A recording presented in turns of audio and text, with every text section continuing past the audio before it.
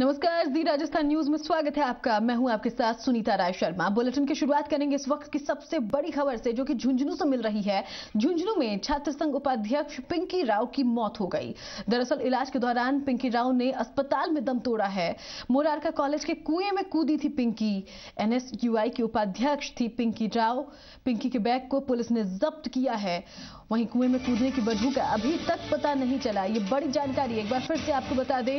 इस वक्त की बड़ी जानकारी झुंझुनू से मिलती हुई, जहाँ छात्र संघ उपाध्यक्ष पिंकी राव की मौत हो गई है। दरअसल पिंकी राव ने कुएँ में छलांग लगा दी थी, जिसके बाद उन्हें बाहर निकाला गया, अस्पताल पहुँचाया गया और अस्पताल में इलाज के दौरान पिंकी राव ने दम तोड़ दिया है। मोरारका कॉलेज के कुएँ में कूदी थी पिंकी, लेकिन किस कारण कूदी थी, इसका अभी तक खुलासा नहीं हो पाया है। इसी बीच पुलिस ने पिंकी के बैग को जब्त कर लिया है। बता दें कि पिंकी एनएसयूआई की उपाध्यक्ष थी। पूरी खबर पर जानकारी लेंगे जी मीडिया संवाददाता संदीप केडिया से। संदीप, कोई जानकारी मिल पाई है अभी तक? जी फ़िलहाल यही जानकारी मिल पाई करीब 11 बजे जो मुरारका कॉलेज की जो उपाध्यक्ष जो एनएसए से ताल्लुकात रखती है वो कॉलेज आई थी और अचानक बैठे बैठे उसने अपने साथ एक बोतल लेके आई थी जिसमें पानी पिया या कुछ भी हो सकता है। कई लोग ये बता रहे कि उसने जहर पीकर और कुएँ में कूद गई और जब तक उसे निकाला गया यानी अब से करीब दस मिनट पहले उसे कुएँ से निकाला गया था तब तक उसमें जो साँसें थी वो चल रही थी लेकिन जो ही अस्पताल पहुँची तब चिकित्सकों ने उसे मृत घोषित कर दिया है।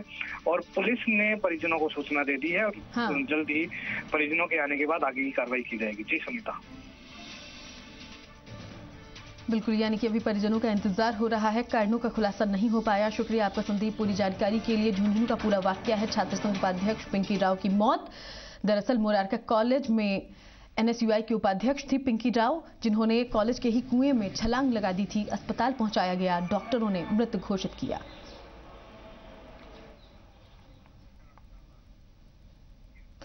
और अब रुख करेंगे कोटा का। कोटा के महावीर नगर में यूआईटी की कार्रवाई पर हंगामा हुआ है। यूआईटी ने इलाके में अतिक्रमण हटाने की कार्रवाई की, जिससे लोग भड़क गए। लोगों का कहना है कि कार्रवाई से पहले उन्हें सूचित नहीं किया गया। लोगों ने रास्ता जाम कर दिया, सड़क पर टायर जलाकर हंगामा किया। लोगों ने यूआईटी के साथ ही विधायक संदीप शर्मा के खिलाफ भी प्रदर्शन किया। बाद में पुलिस बल मौके पर पहुँचा, भीड़ को तितर बितर किया। इधर पुलिस ने कुछ लोगों को हिरासत में भी लिया है।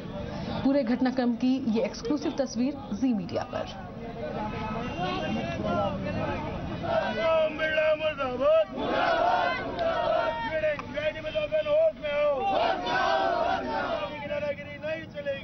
यूआईटी के द्वारा ये जो कुछ अतिक्रमण कर रखा था, जिसको यहाँ मौके से अतिक्रमण हटाया गया, जिस पे फिर यहाँ पे लोगों ने थोड़ा विरोध प्रदर्शन किया और उनका कहना था कि हमको बताया नहीं गया और ये कार्रवाई की गई। जिन्होंने किया है विरोध प्रदर्शन, उनके खिलाफ जो भी कानूनी कार्रवाई होगी वो की जाएगी।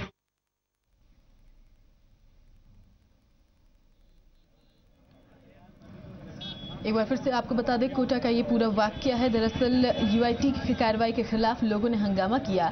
कोटा के महावीर नगर में ये हंगामा हुआ है। यूआईटी ने इलाके से अतिक्रमण हटाने की कार्रवाई शुरू की, लेकिन लोगों का आरोप है कि इस कार्रवाई से पहले उन्हें सूचित नहीं किया गया।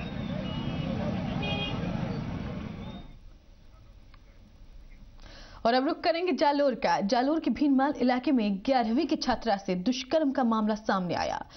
इस मामले में चौंकाने वाली बात यह कि जब पीड़ित बच्ची ने अपनी माँ को इस बारे में बताया तो माँ अपनी बेटी को ही धमकाने लगी। थक हार कर पीड़ित अपने पिता के साथ भीनमाल थाने पहुँची, केस दर्ज करवाया। मामला दर्ज हो चुका है, लेकिन आरोपी खुला घूम रहा है। ऐसे में पुलिस के रवैये पर भी सवाल।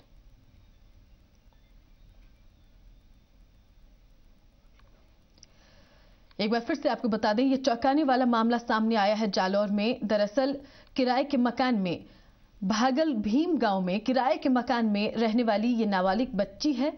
अपने मकान मालिक को पिता के बराबर मानती थी, लेकिन आरोपी ने अपना घिनौना रूप दिखाया, बच्ची से दुष्कर्म किया।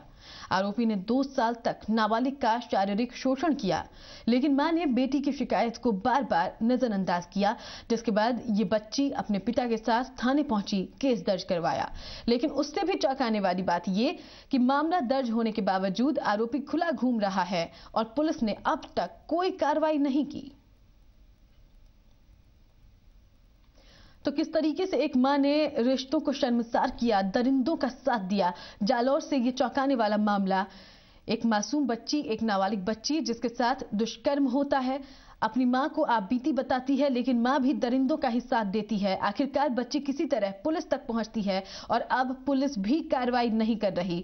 पूरी खबर पर जानकारी लेंगे जी मीडिया संवाददाता बबलू मीणा से। बबलू, ये बेहद हैरान करने वाला मामला है। कुछ अपडेट इस पर। सुनीता बिल्कुल बताना चाहूँगा कि जैसे ही हमारे सामने ये मामला आया जी मीडिया को खुलकर खुल खुलकर जब ये बातें बताई तब हम पुलिस अधिकारियों के पास पहुँचे तो पुलिस। अधिकारी कुछ कन्या कन्नी काटने को तैयार थे लेकिन हमने फिर भी उनसे लगातार सवाल किए उन्होंने आखिरकार ये कहा कि हम जल्द ही कार्रवाई करेंगे लेकिन वो जिस तरीके से कार्रवाई कर रहे हैं हाँ। ऐसे में तो कहीं ना कहीं जैसे बड़े बड़े मामले आए हैं ऐसे में बच्ची की जो आत्मा है वो दर्द भरी जो दास्तान है, वो दास्तान रूह खड़ी करने वाली दास्तान है, उसके मुँह से जब वो सुनाती है तो आँखों में आँसू भर के ये कहानी सुनाती है। ऐसे में कहीं न कहीं एक माँ भी अपने रिश्ते को तार तार करती हुई दिखाई दे रही लेकिन पुलिस अभी भी कुंभकर्ण की नींद सोई हुई है। सुनीता।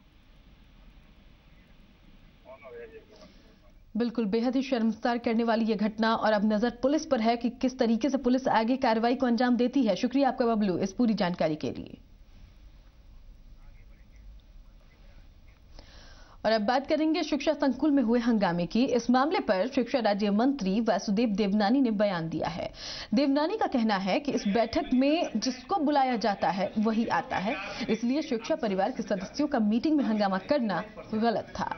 अगर शिक्षा परिवार के सदस्यों को सुझाव देना था तो वो ऑनलाइन भी दे सकते थे।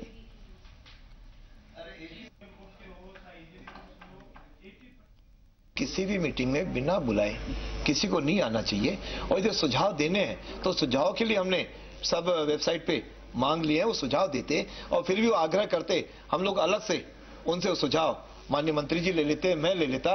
लेकिन इस प्रकार की बैठक में आकर के, इस प्रकार का माहौल उत्पन्न करना और ज़बरदस्ती बैठक में बैठना, मैं समझता हूँ किसी भी निश्चित रूप से एक, चाहे अपन संविधानिक स्थिति में कहें या सामूहिक मर्यादाओं के अंतर्गत कहें, मैं समझता हूँ ठीक नहीं है।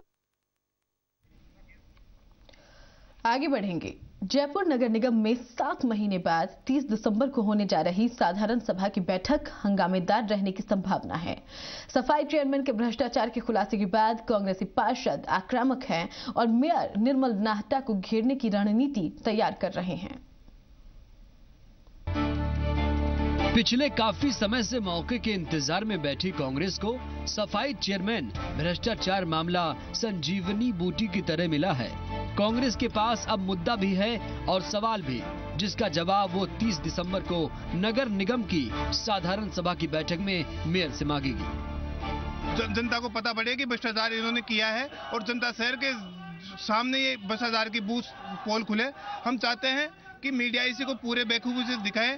हमारे प्रयास रहेगा कि पूरे ज़ोर से विरोध हम अंदर करेंगे। और जमादारों का इनका जैसे भर्ती की गई थी भर्ती का अभी तक जमादारों की भर्ती नहीं की जा रही है। अस्थायी सफ़ाई कर्मचारियों के भुगतान में तीन सफ़ाई चेयरमैन के लेन देन का ऑडियो वायरल होने के बाद से बीजेपी बैकफुट पर है और कांग्रेस मौके भुनाने को तैयार। कांग्रेस पार्षदों ने ऐलान कर दिया है कि जनता से जुड़ी समस्याओं को आगे रखते हुए भ्रष्टाचारियों के खिलाफ वो अपनी आवाज़ बुलंद करेंगे। वरुण भंसाली, जी मीडिया, जयपुर। आगे बढ़ेंगे। सरकारी योजनाएँ शुरू तो की जाती हैं अच्छे इरादों के साथ, लेकिन जिन्हें उन योजनाओं को अमल में लाना होता है, अगर वो ही आँखें मूंद लें तो अच्छी से अच्छी योजना का लाभ लोगों को मिल नहीं पाता। कुछ ऐसा ही देखने को मिल रहा है सवाई माधोपुर में, जहाँ लाखों रुपए खर्च कर टेलीमेडिसिन सेंटर बना तो दिया गया, लेकिन अस्पताल प्रशासन की लापरवाही के चलते अब तक ये बंद पड़ा है। सवाई माधोपुर के अस्पताल में बड़ी लापरवाही सालों से टेली मेडिसिन सेंटर में लगा है ताला। लाखों की मशीनें धूल फांक रही हैं और टेली मेडिसिन सेंटर में इंटरनेट का कनेक्शन भी काम नहीं कर रहा। मरीजों के इलाज के लिए बड़े अस्पतालों के डॉक्टरों से अब रायशुमारी की भी जाए तो कैसे? लिहाजा फिर से मरीजों को जयपुर रेफर कर दिया जा रहा है। अस्पताल के पीएमओ का कहना है, इस सेंटर की ज़रूरत ही नहीं रह गई है, क्योंकि डॉक्टर्स मोबाइल से ही ज़रूरत की जानकारी हासिल कर लेते हैं। और उपयोग अभी वर्तमान में इसका नहीं हो रहा है। इसलिए कि आजकल नेट और व्हाट्सअप का हो गया, उसमें टाइम बाउंडेड होता है टाइम पे वहाँ मिलेगा डॉक्टर वहाँ का अवेलेबिलिटी होगी, वो फिक्स रहता है। और इसमें डॉक्टर आजकल व्हाट्सएप नेट के ज़रिए खुद अपने आप भी कनेक्ट हो जाते हैं। सरकार जिस योजना को ज़रूरी समझती है, क्यों अस्पताल उसे इस्तेमाल में ही नहीं लाते? दस साल पहले सवाई माधोपुर में, जब इस सुविधा की शुरुआत की गई थी, तब ये सुविधा इस इलाके के मरीजों के लिए किसी वरदान से कम नहीं थी। लेकिन सेंटर की स्थापना के कुछ ही दिनों बाद से इसे बंद कर दिया गया। और आज तक इस सेंटर पर ताले लगे हुए हैं। इस टेली मेडिसिन सेंटर में मरीज़ को ला करके वहाँ के जो भी बड़े अस्पताल हैं, जैसे ये सवाई माधोपुर का जो अस्पताल है, इसका telemedicine centre Mahatma Gandhi जो जयपुर में अस्पताल है, उससे कनेक्ट है। वहाँ के बड़े से बड़े डॉक्टर से सलाह ले, ली जा सकती है। मरीज़ को उसमें इस तरह के उपकरण लगे हुए हैं कि मरीज़ को लिटा करके उसकी कौन सी बीमारी है, कहाँ बीमारी है, किस साइड में बीमारी है, वो सीधा वहाँ का डॉक्टर देखेगा। जिला अस्पताल में 50 डॉक्टर तैनात हैं, लेकिन इस सेंटर के इस्तेमाल की मशक्कत किसी ने नहीं की। लिहाजा, मरीजों को जयपुर रेफर किया जाना फितरत बन गया है। अरविंद सिंह, जी मीडिया, सवाई माधोपुर। सरकारी योजनाओं की बदहाली का हाल सिर्फ़ यही नहीं है। दरअसल सरकारी योजनाएँ जनता के लिए वरदान तो मानी जाती है, लेकिन चित्तौड़गढ़ में भी सरकारी योजनाओं के नाम पर जनता को लूटा जा रहा है। ये रिपोर्ट देखिए। अभी मैंने ये मालूम करा कि एस एस बैंक से उनको दो हज़ार रुपये का जमा करना है मगर वो दो हज़ार रुपये रिफंडेबल नहीं है। कारण ये कि मेरे वो दो हज़ार रुपये लॉस में जाएँगे तो उनके इन्वेस्टमेंट तो उसमें ही कमा लेंगे वो। चित्तौड़गढ़ में ये हकीकत है उस योजना की जिसको लेकर प्रदेश सरकार विकास के दावे करती है। कहने को तो सीएम जन आवास योजना लोगों के लिए वरदान है लेकिन इसके ही लाभार्थी इसे खोखला करार दे रहे हैं। सर फॉर्म खरीदा है। लेकिन इसलिए उसको भरकर करें कि यहाँ पैंतीस सौ, दो हज़ार रुपये जो है, उससे कम रेट डीएलसी में तो हमारे को बने बनाए मिल रहे हैं। गांधी नगर में दो सौ रुपये से ज़्यादा डीएलसी है नहीं। तो फिर वहाँ फार्म भर के हम करें क्या? योजना के मुताबिक 325 वर्ग फीट के फ्लैट की कीमत तीन लाख नब्बे हज़ार रुपए निर्धारित की गई है, जबकि 500 वर्ग फीट के फ्लैट के लिए 6 लाख रुपए निर्धारित की गई है। लोगों का दावा यह है कि इतना पैसा खर्च करके एक अच्छे मकान का निर्माण किया जा सकता है। लोगों का आरोप है कि इस योजना का मकसद सरकार की जेबें भरना है।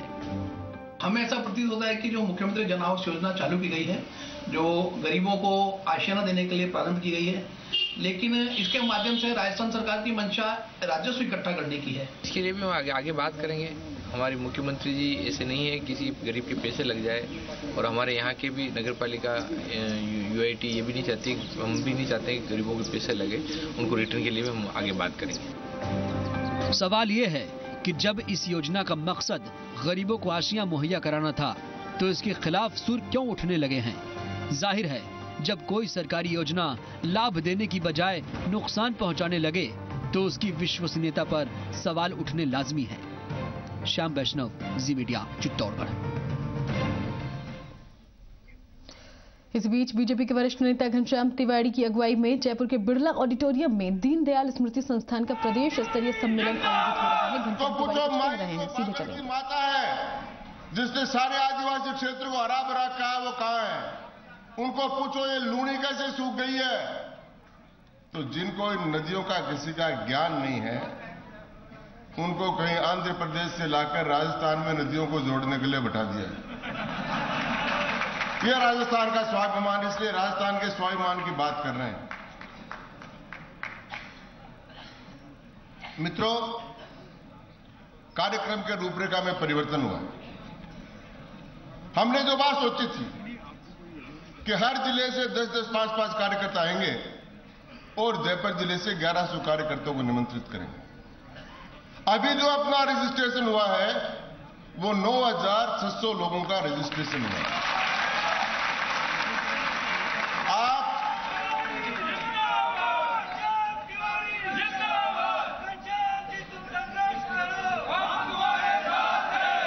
मित्रों ये आप लोग जो बैठे हो आप आराम से पहले आ गए। वो बाहर बैठे हैं तीन जगह एलसीडी लगी हुई है। उसके बाद भी देख नहीं पा रहे मैं उनसे क्षमा चाहता हूँ और उनसे निवेदन करना चाहता हूँ कि वो इस त्रुटि के लिए क्षमा करें। अब जो कार्यक्रम करेंगे, वो बिरला सभागार में नहीं करेंगे। अब जो कार्यक्रम करेंगे, वो अमरुदों के बाग में करेंगे।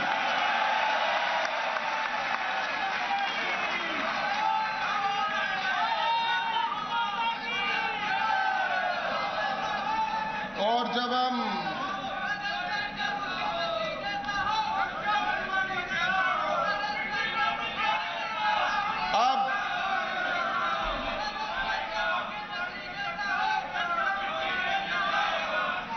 हम आशा करते हैं। हम आशा करते हैं कि आपकी भावनाओं लोग समझ लें। मित्रों, मैं आप पर थोड़ा सा अनाड़ी। अब मित्रों, आप मेरी बात सुनो। बाहर जो लोग बैठे हैं, वो बहुत तकलीफ़ में हैं। इसलिए मैं अपनी बात मुख्य मुख्य बातें आपको निवेदन करना चाहता हूँ। अभी मैंने राजस्थान के महापुरुषों और राजस्थान की नदियों का बारे में वर्णन किया है। मेरे बारे में लिखा है, राजस्थान के स्वाभिमान का प्रतीक मैं नहीं हूँ। मैं हूँ, अगर चले अपन यहाँ से तो महाराजा सूरजमल को सब जानते होंगे, जिन्होंने अंग्रेज़ों के सामने झुके नहीं और दिल्ली का दरवाज़ा तोड़कर लेकर आ गए। गोकुला जाट को भी सब जानते होंगे। महाराणा प्रताप को भी जानते कालीबाई को भी जानते बीकाना, जोधपुर। कौन कौन सा स्थान है जो झुके नहीं और लड़े? वो राजस्थान का स्वाभिमान के प्रतीक है। मैं तो केवल उनका पुजारी हूँ। जो भगवान ने मुझे पूजा करने के लिए जन्म दिया आज़ादी के लिए किस किस जाति ने कौन कौन सा बलिदान नहीं किया? पथिक साहब ने किया, माणक लाल ने कितने लोगों ने आंदोलन किया? राजस्थान कभी झुका नहीं। राजस्थान कभी चारागाह नहीं बना, कभी शेरगाह नहीं बना। और राजस्थान को वो चारागाह और शेरगाह बनाना चाहे, वो संभव नहीं है। इसलिए हम राजस्थान के स्वाभिमान के लिए संघर्ष करते देश युवा का आपने सुना कई बार लोग करते आपकी प्रे, प्रेरणा क्या है? राज लेने की प्रेरणा नहीं बेटों को एमएलए एमपी बनाने की प्रेरणा नहीं पिता वारिया ते लाल चार वारे हिंद तेरी शान बदले। जिन्होंने अपने हिंद की शान के लिए अपने चारे बेटों का बलिदान कर दिया खुद के बाप का बलिदान कर दिया उस महापुरुष के हमने गाने को उसकी प्रार्थना को हमने हमारा थीम सॉन्ग बनाकर चलाया। तो जो प्रेरणा लेने वाला ऐसे हैं, वो प्रेरणा वैसी देंगे। ये काम कैसे सोचा? मैं धन्यवाद दूँगा मेरे मित्रों को, जो यहाँ पर बैठे हैं, जिन्होंने आवाज़ जिन्होंने 28 वर्ष पहले ये दीनदयाल स्मृति संस्थान ऐसे नहीं निकला। ये हम लोग जो उस समय जवान थे पवन बनवारी लाल जी, आत्माराम जी, पवन कुमार जी नरसिंह लाल जी, सूरजमल जी, तेज प्रकाश जी, सारे हमारे मित्र, गोवर्धन दीक्षित का देहांत हो गया। हमने 28 वर्ष पहले जब राजस्थान में किसी ने भी दीनदयाल जी उपाध्याय का स्मृति संस्थान नहीं बनाया था, हमने पंडित दीनदयाल उपाध्याय के विचार प्रसार करने के लिए स्मृति संस्थान बनाया, उसका भवन बनाया और आज तक कार्य कर उसमें एक कार्यकर्ता ऐसा है, जो तिरासी साल का है। प्रथम वर्ष, द्वितीय वर्ष, तृतीय वर्ष संघ का शिक्षित है। तीन भाई है, तीनों भाई संघ के तीनों प्रथम वर्ष द्वितीय वर्ष शिक्षित हैं। उनको मैंने कहा कि आप यहाँ के कार्यालय प्रमुख का काम करोगे। जवानी में थे। बुढ़ापा आ गया।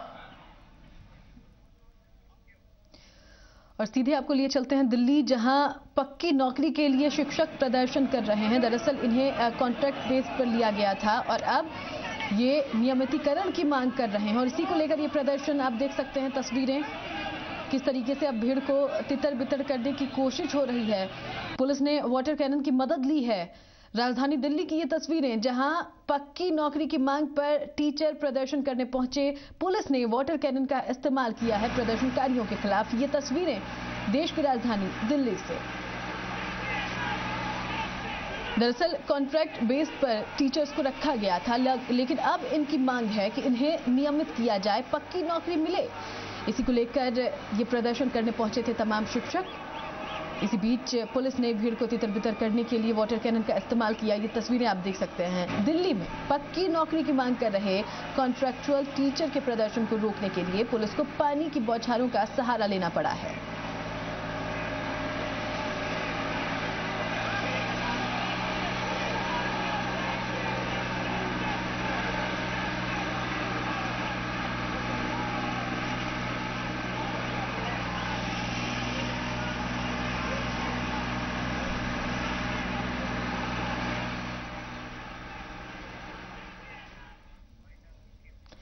बुलेटिन में फ़िलहाल इतना ही। बने रहिए जी राजस्थान न्यूज़ के साथ। नमस्कार।